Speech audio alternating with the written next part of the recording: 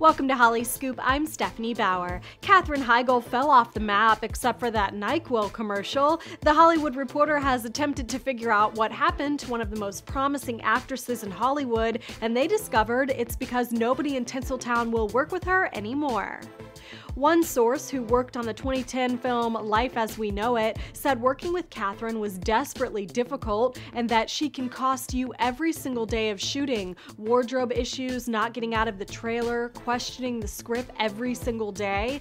Apparently, it's her mom, who is also her manager, who is the real issue. A different source says, quote, I have never experienced anything like Nancy Heigl. It's about the mouth. F you, you're an effing liar. Whatever you'd say, you were an idiot it. The call would be This is the worst craft service we've ever had. There's nothing to eat. This is the worst wardrobe.